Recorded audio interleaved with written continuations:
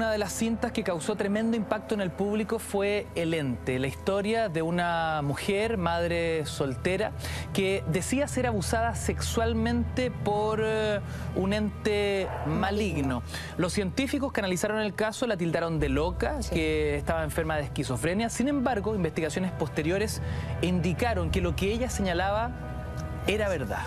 Y lo más grave en eso, lo más grave en eso, que la segunda investigación que hicieron en presencia de tres destacados médicos psiquiátricas, psiquiatras, por lo tanto no eran cualquiera persona que reprodujeron la casa en la que ella vivía y allí estuvo esta, esta dama. En la noche ellos vieron una luz, pero que, que cruzó así, pero lo más importante es cómo esta mujer eh, eh, eh, experimentaba, se movía como que estaba siendo violada. No se veía quién la violaba, un ente que en realidad invisible. Vieron, por ejemplo, que levantaba las, sábanas, o sea, las tapas hacia atrás y prácticamente agredía, la mujer se sentía agredida totalmente lo que ocurría. Al día siguiente hicieron los exámenes correspondientes.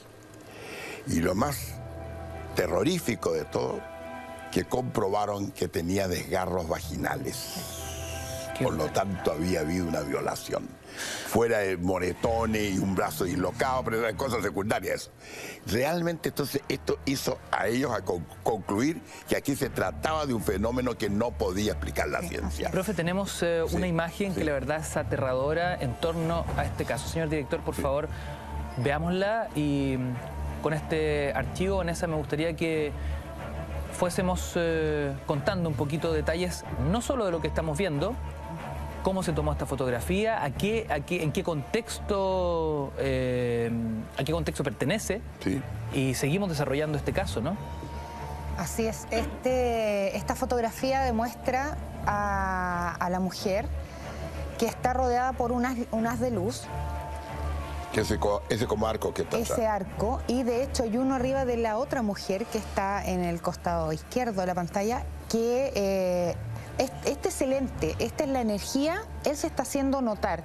Yo eh, en Chile, en Santiago y Rancagua, yo conocí dos casos de, de la misma situación, estuve en uno donde efectivamente la mujer estaba acostada y se veía eh, los dedos hundiéndose en la piel de ella, pero sin haber nadie.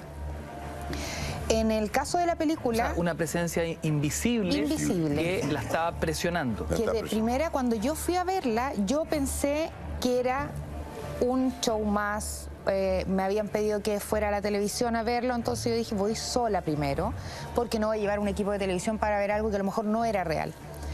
La verdad que quedé impactada porque eh, al acostar a esta mujer, ella me dice, él ya está aquí, yo sentía que había alguien ahí, pero yo esperaba que se manifestara de otra forma. Cuando ella se acuesta en una cama, en su cama de hecho, no era una cama especial, una casa humilde, se acuesta y me dice, aquí viene. Y empiezo a ver los dedos y las, las manos, cómo van rozando su piel cómo le apretaban la cara y se hundía, cosas que no puede hacer ella, por mucho que hunda eh, el cuello, no podía, se notaban los dedos. Y lo que me llamó la atención es que eh, en este caso del lente, ella cuando estaba sola se manifestaba. En este caso no, a él le daba lo mismo que hubiesen más personas viéndolo. Habían testigos. Habían testigos. En ese caso, y como muchos otros casos ha pasado, se tomaron fotografías con celulares y con cámaras con rollo en ese tiempo. Y no salieron las fotografías. No salieron las fotografías del lugar, de la habitación, de las marcas que tenía en su brazo. ¿Qué registraba al momento de obturar eh, una foto velada? No, se veía la foto, se veía como que había tomado la foto. Al momento de revelarla, ¿Ya? no había nada. El rollo estaba completamente en negro. ¿Y en el caso de las, de las la cámaras cámara digitales? Las cámaras eh, digital no sacó nada. Era negro, absolutamente en negro. Increíble. Sí. Es la energía de esta persona que no permitió que se fotografiara lo que estaba haciendo en ese momento. Ese fue el primer caso. ¿El segundo? Ese fue el primer caso. El segundo caso fue una niña, ¿Ya? 15 años, que también la mamá la había llevado a muchos lugares, muchos psiquiatras, psicólogos, terapeutas, porque la niña decía que de noche a ella llegaba un hombre a su casa, a su pieza, y la tocaba y la violaba. La mamá empezó a sospechar del padrastro, porque ella era separada y vivía con su pareja en la, casa. Y claro, el padrastro negó, todo esto, dijo que era, imposible, cuando ella empezó a notar de que la hija despertaba en las mañanas y el padrastro no había llegado a la casa por temas de trabajo, pero sí la hija había experimentado esto.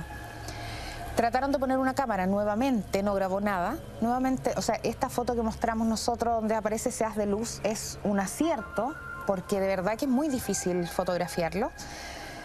Y ella lo que hizo fue sentarse al lado de un, de un closet, frente a la cama de la niña, apagó todas las luces y ahí se quedó. Luchando por no quedarse dormida, a eso de las 3 de la mañana, que es una hora eh, muy especial, que otro día podríamos hablar de eso. Bueno, podemos hablar un rato más por Emily Rose. Absolutamente. A las 3 de la mañana empieza a correrse la sábana igual que en una película. Como que hubiesen dos hilos eh, transparentes y empiezan a correr la sábana. Esta mamá no lo podía creer. Corre la sábana, la niña queda acostada completamente en esta cama y le abren las piernas, porque ella no las abrió, la niña estaba durmiendo le abren las piernas y la niña se empieza a ahogar. Y ahí la mamá entendió que este ente estaba encima de ella.